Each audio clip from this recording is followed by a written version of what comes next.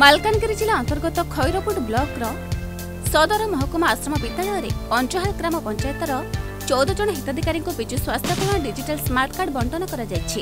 ଏଥିରେ ମାନ୍ୟବର ଜଙ୍ଗଲ ଏବଂ ପରିବେଶ ମନ୍ତ୍ରୀ ବିକ୍ରମ କିଶୋରୀ ଆରୋଗ ଓଡ଼ିଶା ରାଜ୍ୟ ମିଶନ ଶକ୍ତିର ନିର୍ଦ୍ଦେଶିକା ଲୋପାମୁଦ୍ରା ବକ୍ସିପାତ୍ର ପ୍ରମୁଖ ମୁଖ୍ୟ ଅତିଥି ଭାବରେ ଯୋଗ ଦେଇଥିବା ବେଳେ ଚିତ୍ରକୋଣ୍ଡା ବିଧାୟକ ପୂର୍ଣ୍ଣଚନ୍ଦ୍ର ବାକା ବୈଠକରେ ସଭାପତିତ୍ୱ କରିଥିବା ଜଣାପଡ଼ିଛି। ବିଜୁ ସ୍ୱାସ୍ଥ୍ୟ କଲ୍ୟାଣ ଯୋଜନା ମାଧ୍ୟମରେ ଏସବୁ ଡିଜିଟାଲ ସ୍ମାର୍ଟ କାର୍ଡ ସ୍ୱତନ୍ତ୍ର ଭାବରେ ଅଣ୍ଟୁଝାଲ ବଣ୍ଡାଘାଟି ଅଞ୍ଚଳର ବଣ୍ଡା ସମ୍ପ୍ରଦାୟର ମହିଳାମାନଙ୍କୁ ବଣ୍ଟନ କରାଯାଇଛି।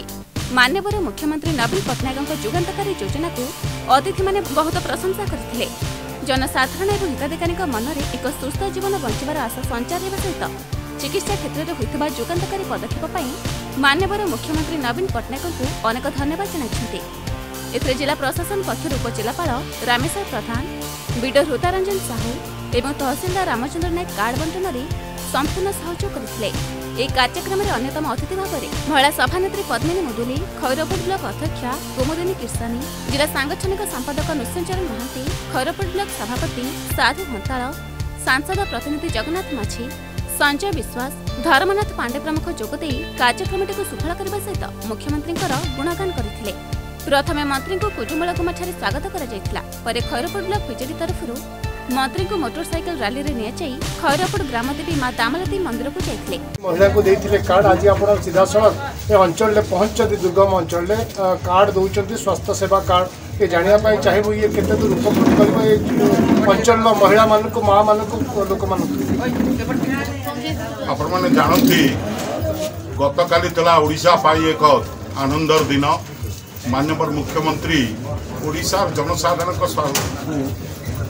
ସ୍ୱାସ୍ଥ୍ୟ ସେବା ଯୋଗାଇବା ପାଇଁ ବିଜୁ ସ୍ୱାସ୍ଥ୍ୟ କଲ୍ୟାଣ ଯୋଜନାରେ ସ୍ମାର୍ଟ କାର୍ଡ କାର୍ଯ୍ୟକ୍ରମକୁ ଗତକାଲି ଶୁଭାରମ୍ଭ କରିଛନ୍ତି ଏ ମାଲକାନଗିରି ମାଟିରୁ ଏବଂ ଆଜି ମାଲକାନଗିରି ଜିଲ୍ଲାର ଖୈରପୁର ବ୍ଲକର ଯେଉଁ ବଣ୍ଡା ଜନଜାତିମାନେ ବଣ୍ଡା ଘାଟି ଅଞ୍ଚଳରେ ରହୁଛନ୍ତି ସେଇମାନଙ୍କୁ ପ୍ରଥମେ ଏ କାର୍ଡ ପ୍ରଦାନ କରିବା କାର୍ଯ୍ୟକ୍ରମ ଆରମ୍ଭ ହୋଇଛି ଆପଣମାନେ ଜାଣନ୍ତି ମାନ୍ୟବର ମୁଖ୍ୟମନ୍ତ୍ରୀ ଚାହାନ୍ତି ଅର୍ଥ ଅଭାବ ବିନା ଓଡ଼ିଶାର କୌଣସି ଲୋକଙ୍କୁ ପ୍ରାଣ ହରାଇବା ପାଇଁ ଦିଆଯିବ ନାହିଁ।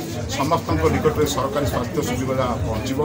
ତେଣୁ ଆଜି ବିଜୁ ସ୍ୱାସ୍ଥ୍ୟ କଲ୍ୟାଣ ଯୋଜନାରେ ଏ ଯେଉଁ ସ୍ମାର୍ଟ କାର୍ଡ ବଣ୍ଟନ କାର୍ଯ୍ୟକ୍ରମ ଆରମ୍ଭ ହୋଇଛି ଏଥିରେ ଗତକାଲିଠାରୁ ଆପଣମାନେ ଜାଣିଛନ୍ତି ମହିଳାମାନଙ୍କ ପାଇଁ ଦଶ ଲକ୍ଷ ଟଙ୍କାର ଚିକିତ୍ସା ସୁବିଧା ରହିଛି ଏବଂ ପୁରୁଷମାନଙ୍କ ପାଇଁ ପାଞ୍ଚ ଲକ୍ଷ ଟଙ୍କାର ଚିକିତ୍ସା ସୁବିଧା ରହିଛି। ଆଜି ଖୈରପୁର ବ୍ଲକର ଏ ଅଞ୍ଚଳରେ ଆମେ କାର୍ଯ୍ୟକ୍ରମ ଆରମ୍ଭ କରିଛୁ ଏବଂ ପଣ୍ଡା ଜନଜାତିର ମାଆମାନଙ୍କ ଠାରୁ ପ୍ରଥମେ ବଣ୍ଟନ କାର୍ଯ୍ୟକ୍ରମ ଆରମ୍ଭ କରି ଆମେ ଅତ୍ୟନ୍ତ ଆନନ୍ଦିତ। ମୁଁ ଆଶା କରୁଛି ଆଗାମୀ ଦିନରେ ଏ କାର୍ଯ୍ୟକ୍ରମ ଏ ଅଞ୍ଚଳରେ ସଫଳତା ଲାଭ କରିବ।